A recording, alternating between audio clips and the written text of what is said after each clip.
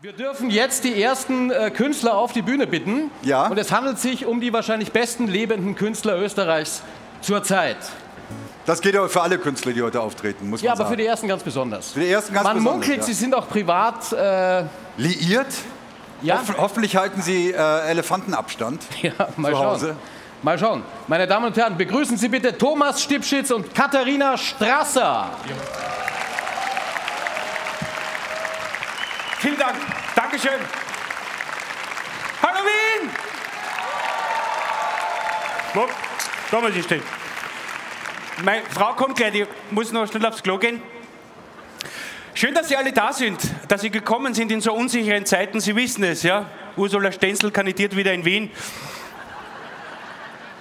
Aber ab nächstes Jahr gibt es eine Impfung. Schauen wir mal. Bin ja heute für Sie da in meiner Funktion als Tourismusbeauftragter von Stinaz im südlichen Burgenland und möchte ein bisschen äh, was erzählen, wie wir auch in Stinaz haben ja sehr viele große Events. Wir haben ja eine wunderschöne Kulturhalle, also eine Halle. Aber Stinaz war immer ein Knotenpunkt für hochqualitative Rock- und Popmusik. Also in Stinaz in der Halle sind wirklich, da waren richtige Stars da, Stars, also international Stars. Es war natürlich auch, weil es ist ja eine Mehrzweckhalle, es waren auch so Konzerte wie Michelle, Michelle war, ja, das war sehr interessant, die ist ja nur so groß. Und beim Michelle-Konzert war es so, du hast zu Eintrittskarten zwei Cola Rot gekriegt, haben sie viel Getränk geholt und sind wieder gegangen. War ich sag's deswegen dazu, weil äh, unsere Tochter, die ist jetzt zwei und ist so wahnsinnig musikbegeistert. Ja, die will unbedingt schon Konzerte gehen. Und die hört den ganzen Tag ihre Kinderlieder. Das läuft ja durch bei uns auf Dauerschleife. Eh die klassischen, also kein Blödsinn. Ich bin aber nicht hundertprozentig damit einverstanden. Na, weil der Sprung von diesen Kinderliedern ja, zu Justin Bieber und Miley Cyrus oder zu dieser ähm, Swift, die Swift, ja, und da war der Suzuki schon ein Schatz. Das ist kein, und das will ich nicht. Ja? Ich will, dass sie, dass sie gute Rock- und Popmusik hört. Sie muss ja nicht das hören, was alle hören im Kindergarten dann in der Schmetterlingsgruppe.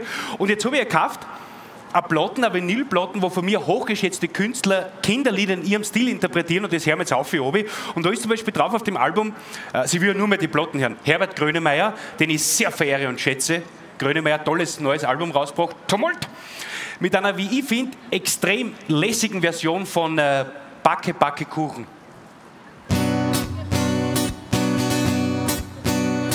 Das Firmament hat geöffnet, ich zähl von eins bis sieben.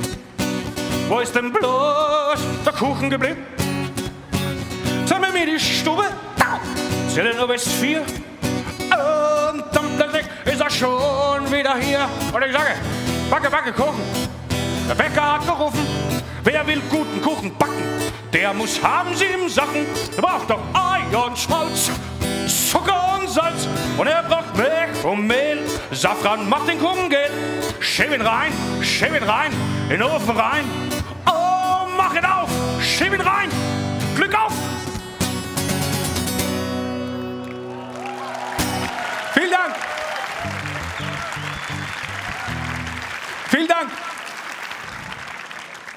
Dann ist drauf auf dem Album eine ganz tolle österreichische Band, eine oberösterreichische Band, die zu Recht in den letzten Jahren den deutschsprachigen Musikraum komplett aufgemischt hat. Bilderbuch.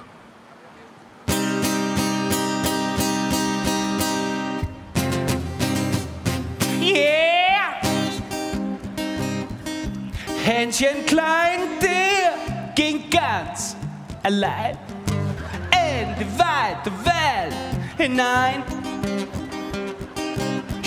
Stark und Hut steht ihm gut. Er ist voller Wohlgemut.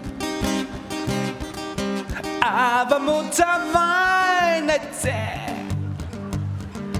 Hat jetzt nun kein Ötchen mehr. Da, da, da, da besinnt sich das Kind und kehrt nach Hause ganz geschwind.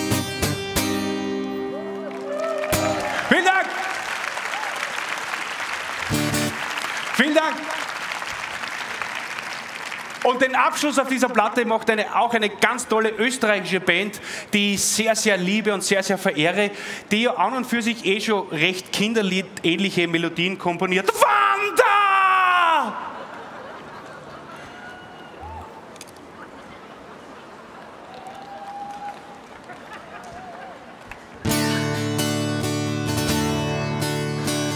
Spannend langen, langer Hansel, nudel, nudel, Tieren, gehen wir in den Garten, schütteln wir die Birnen. Schüttel ich die Große, schüttelst du die Kleine, wenn der Sack voll ist, gehen wir wieder heim. Ja, ja, da hast du's wieder, spannend, langer Hansel, ich verliere die Birnen und die Schuhe noch ganz, ja, ja, da hast du's wieder, Nudel, dicke Tieren und ich trag den schweren Sack mit der großen Birne. Ich sage, schüttel, Baby, schüttel, Baby. Schüttel, Baby, schüttel, Baby, schüttel, Baby. Schüttel, Baby, schüttel, Baby, schüttel, Baby. Schüttel, Baby. Tada! Danke, vielen Dank.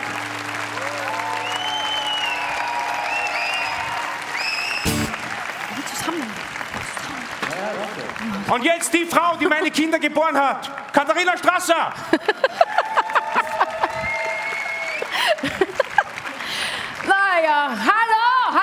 ich muss das auch mal sagen. Ist das nicht schön?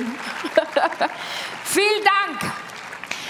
Ein kleines Durcheinander am Anfang. Es war immer so geplant, dass ich erst dann komme. Ich war nicht am Klo. Also, vielleicht war ich auch kurz am Klo, aber es war kein Fehler, sondern das ist unser Ernst gewesen.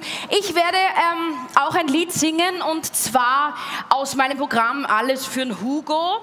Äh, und da spreche ich über die wunderbare Sissi Grana und erzähle von ihrem Leben. Wer kennt noch Sissi Grana? Ja, also doch ein paar Menschen über 60 hier. Schön, das freut mich.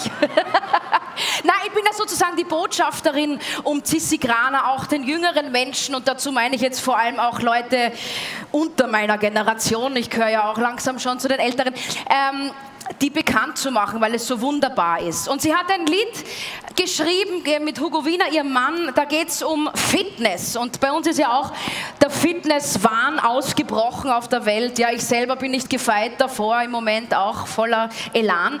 Und da gibt es ein wunderbares Lied, das heißt Die Schönheitspflege. Und falls Sie in nächster Zeit wieder mal sehr viel Zeit zu Hause verbringen müssen, man weiß es ja nicht, können Sie gerne dieses Lied nachtanzen. Ich werde es Ihnen jetzt mal vormachen.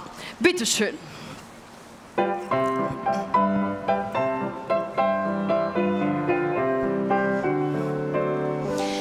Bereits die Römer sagten schon, die Pflege kann nicht schaden. Drum pflegten damals die Damen, auch in Eselsmilch zu baden. Könnte ich als Hausfrau mir die Zeit so nehmen, wie ich wollte, ich wüsste genau, wie man sich heute pflegen sollte. Gleich wenn ich aufstehe, fange ich an. Ich freue mich schon, wie toll. Ich weiß, wie man den Tag beginnen und beenden soll. Wenn Sie morgens erwachen, heißt es Bauchatmung machen. Denn das Atmen ist wichtig, also atmen Sie richtig. Bauch heraus, Brust hinein und dann atmen Sie ein. Eine halbe Stunde bitte ungefähr.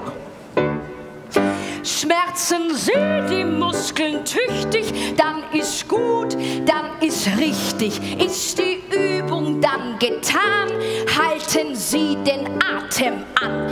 aber nicht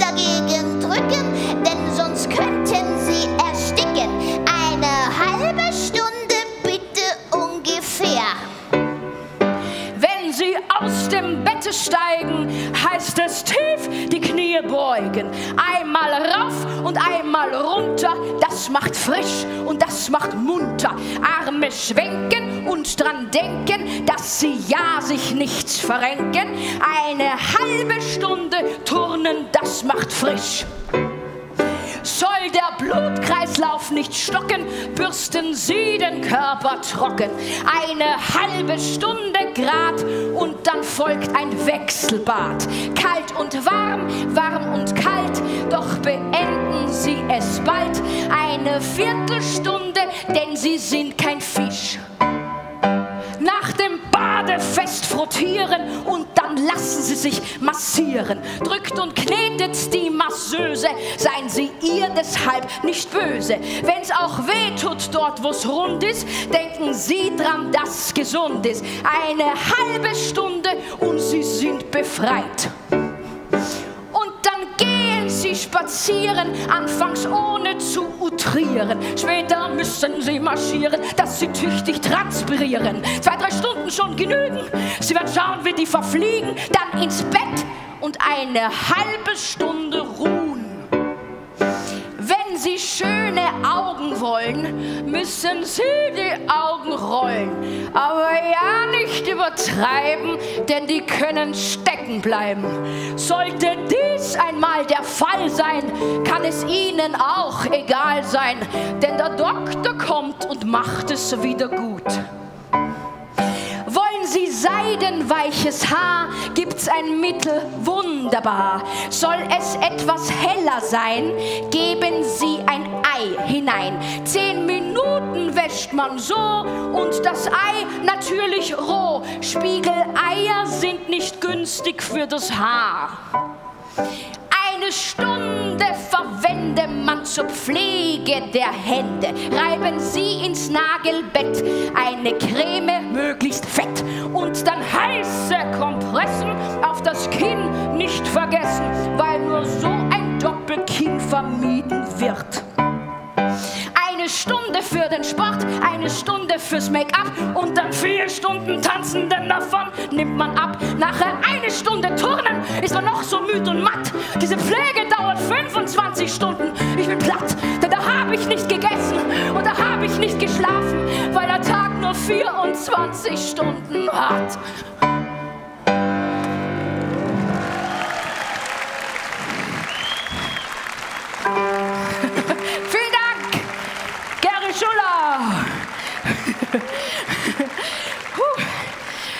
Dankeschön. Und jetzt, wie versprochen, noch einmal Thomas Stipsitz. Was hast du jetzt gemacht? Ein Bier getrunken. Ein Bier getrunken? ja, Bier. Auf das freue ich mich auch schon. Wir müssen schau, Wir haben noch zwei Minuten Wir haben noch zwei 13. Minuten. Es Jawohl. geht sich aus, geht sich aus, geht sich alles aus. Genau. Wir haben ja in der Quarantänezeit viel Zeit gehabt nachzudenken. Warte, ich geh daher. Da, ja. Ja. Und wir haben ein paar so Liedchen. Kannst du es runter tun, dass man mich sieht? Ja, klar. Danke. Und wir haben so ein Liedchen gemacht über. Wir haben ein Lied gemacht über alle Helden und Heldinnen des Alltags und wollen in das Abschluss vielleicht drei kurze Liedchen aus, äh, aus unserem Zyklus vorspielen. Äh, die erste Nummer wäre für alle Postbeamtinnen und alle Postbeamten im äh, Stile von Lady Gaga.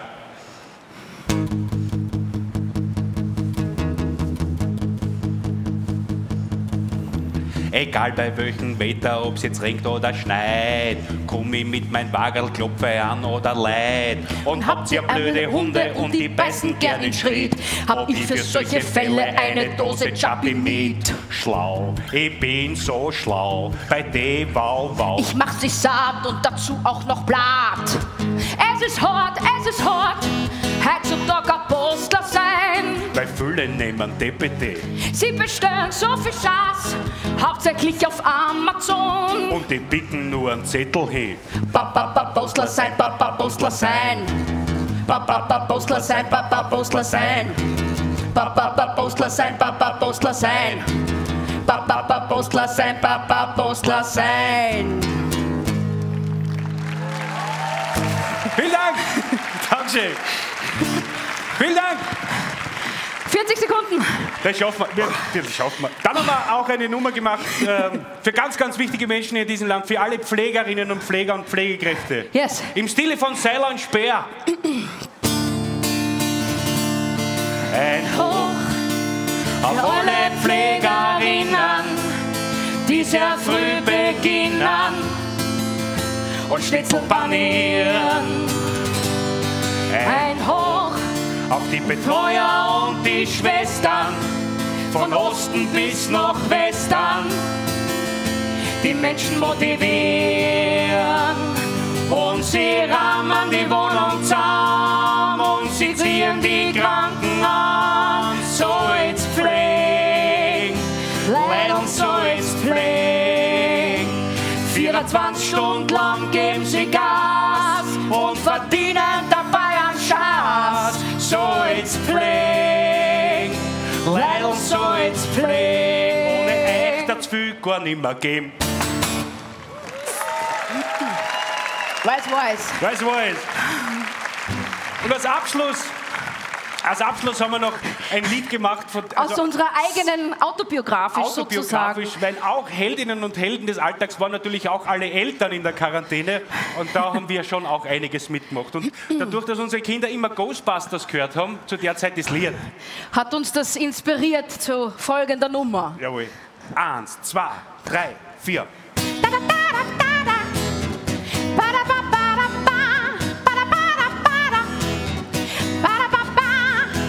ist was faul im Lego-Haus.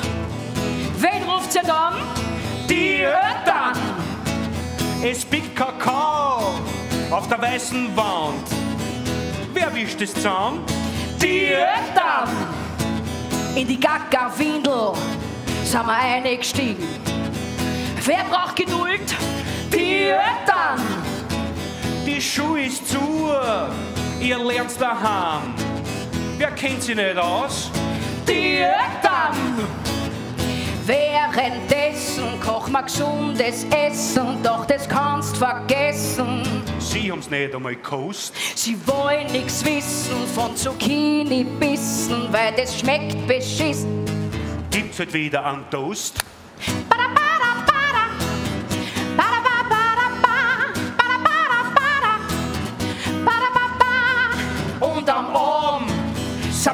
Sind wir komplett miert. Wer hat keinen Sex? Die Eltern! Es ist so schön in der Quarantäne. Man kriegt so viel zurück von die Kinder.